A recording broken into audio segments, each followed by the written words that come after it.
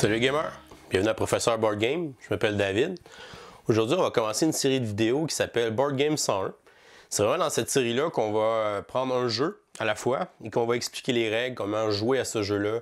Donc montrer les composantes, montrer euh, les règlements, comment faire le placement initial, euh, comment gagner la partie, et ainsi de suite. Donc vraiment des, vidéos un peu plus explicatifs.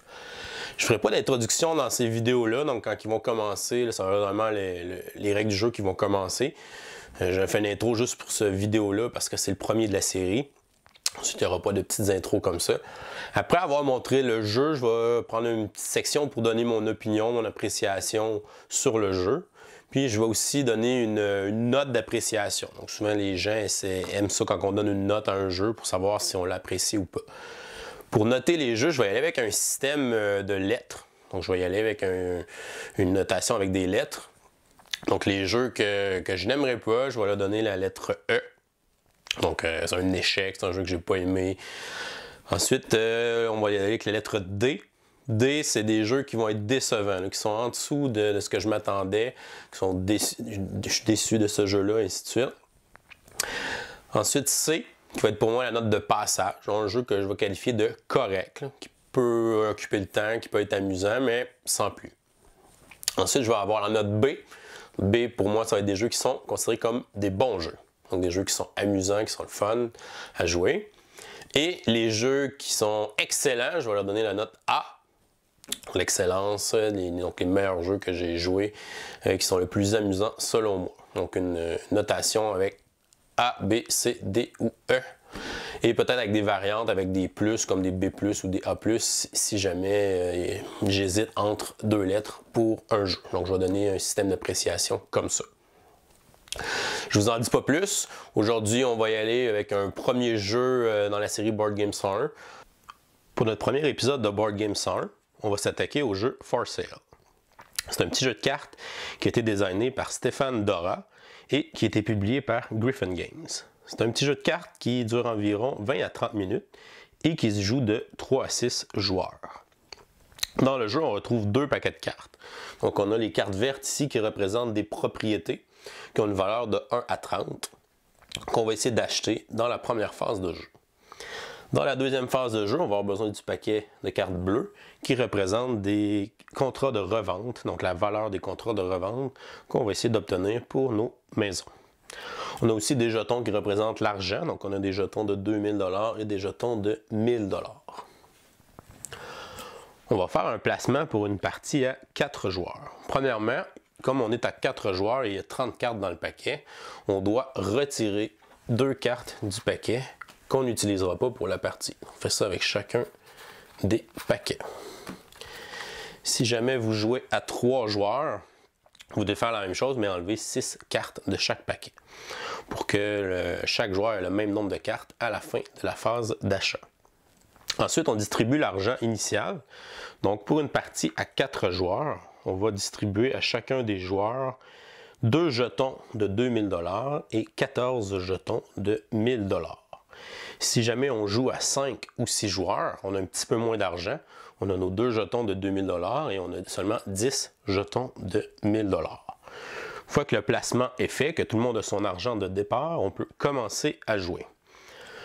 On y va avec la première phase qui est une phase d'enchère. Donc, les joueurs vont essayer de dépenser leur argent de la façon la plus efficace possible pour obtenir les différentes propriétés qui vont de valeur 1 à 30. Au début de la phase d'enchère, on va tourner une carte de propriété pour chacun des joueurs. Donc, dans une partie à 4 joueurs, on va tourner 4 cartes de propriété.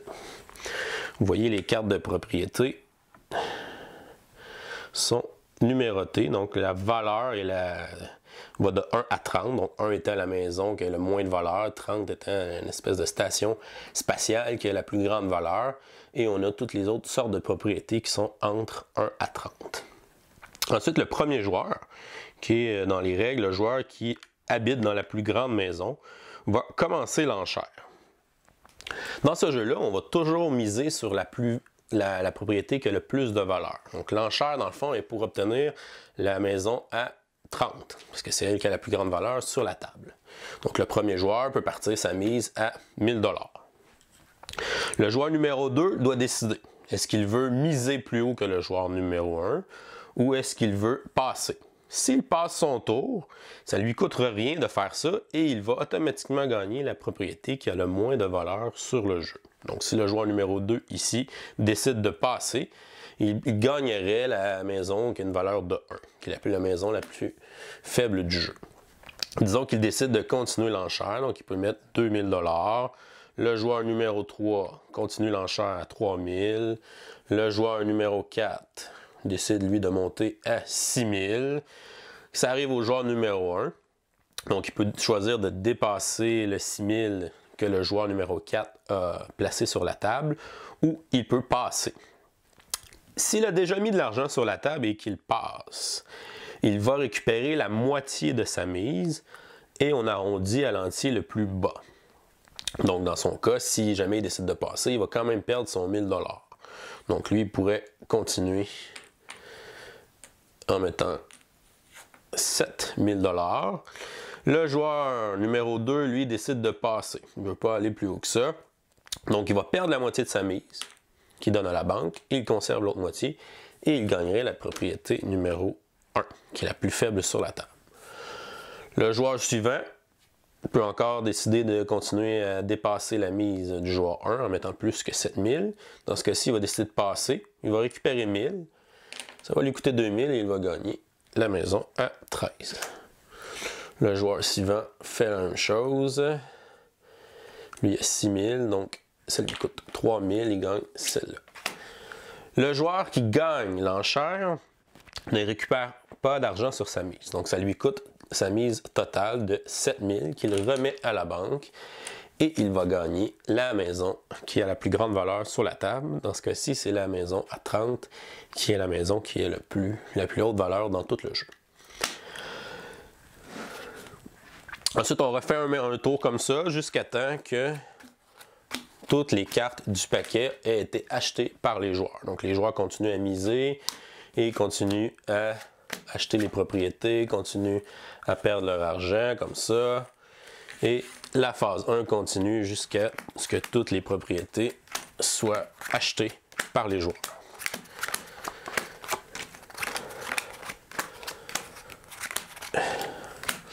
Maintenant, on va dire que c'est comme ça. On n'a plus beaucoup d'argent à la fin de la phase 1 parce qu'on s'est servi de cet argent-là pour acheter les différentes propriétés. Maintenant, on arrive à la phase 2. Dans la phase 2, donc on aura besoin des contrats de revente qui sont le paquet de cartes bleues. On va euh, tourner encore une fois une carte par joueur.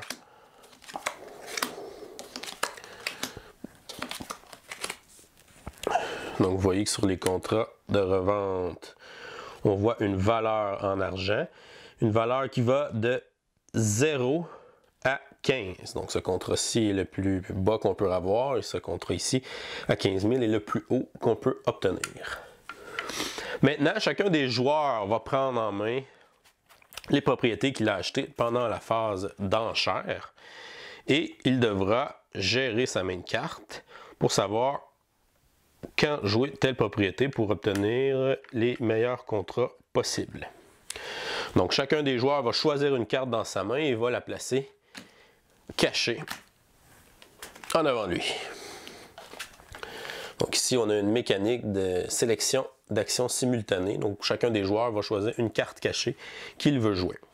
Tous en même temps, les joueurs vont retourner leur carte qu'ils ont choisie et celui qui a joué la plus haute maison va gagner le contrat le plus haut et ensuite celui qui a la deuxième maison la plus haute en valeur va gagner le deuxième contrat et ainsi de suite. Donc si le joueur qui aurait joué la belle tente à 6 s'en sortirait avec un contrat de 0. Donc il a vendu cette propriété pour rien. Ensuite, les propriétés qui ont été jouées sont défaussées. Les joueurs gardent les différents contrats. Ensuite, on remettrait quatre nouveaux contrats. Et les joueurs continueraient comme ça jusqu'à temps que la pile de cartes de contrat de revente soit terminée. Ensuite, on, on cumule les contrats de revente qu'on a, on les additionne avec l'argent qui nous restait aussi du départ. S'il nous restait des jetons d'argent, on les additionne aussi. Et le joueur qui a le plus d'argent est celui qui remporte la partie. Voilà, c'était le jeu For Sale. Maintenant, euh, je vous reviens avec mon opinion personnelle sur ce jeu. Qu'est-ce que je pense du jeu For Sale? D'abord, on va regarder les composants. On a les cartes, les jetons. Les cartes euh, sont très épaisses, sont, sont des cartes qui sont cartonnées. Très bonne qualité, elles vont durer longtemps, ça va être long avant qu'elles commencent à se maganer. Donc ça c'est un point positif pour les composantes, les cartes. Les jetons euh, sont corrects, il n'y a rien d'exceptionnel à ce niveau-là. Ils font, font ce qu'ils ont à faire. Ensuite, euh, pour le côté artistique du jeu, on a les dessins sur les, cartes de maison, qui ont un petit style cartoon, dessin animé. C'est quand même joli, les, dessins sont beaux, sont réussis. Ça, c'est correct à ce niveau-là. Pour les cartes de contrat, sont pas super belles. Ça aurait peut-être pu être un peu mieux. Mais c'est pas, pas si grave que ça. Ensuite, au niveau de la complexité du jeu, c'est un jeu qui est très simple à apprendre. Ça s'apprend rapidement. Les règles, c'est une feuille recto-verso. Vous voyez que sur les cartes ou sur les jetons, il n'y a aucun texte, donc seulement des chiffres. On n'a pas besoin d'acheter la version française nécessairement, mais on n'a pas besoin de payer plus cher pour euh, avoir la version française parce que, dans le fond, une fois qu'on sait jouer, on n'a pas besoin de, lire quoi que ce soit, c'est seulement des chiffres qui sont sur les cartes. Alors ça, ça pourrait vous faire économiser un tout petit peu euh, d'argent. Ensuite, au niveau du nombre de joueurs, le jeu se joue de 3 à 6. Selon moi, c'est plus le fun si on est 4 et plus. Donc 4, 5 ou 6, c'est le fun. À 3, on dirait qu'il manque un petit peu de, variété. Il n'y a pas beaucoup de cartes sur la table. Euh, ça fait des tours de jeu qui sont un peu moins intéressants. Donc plus on est de joueurs à ce jeu-là, plus c'est amusant. Au niveau des comparaisons, si vous aimez vendre des maisons et que vous êtes encore pris à jouer à Monopoly, vous êtes tanné, ça dure 4 heures, euh, votre blonde vous oblige à jouer parce qu'elle aime ça, allez lui acheter le jeu For Sale.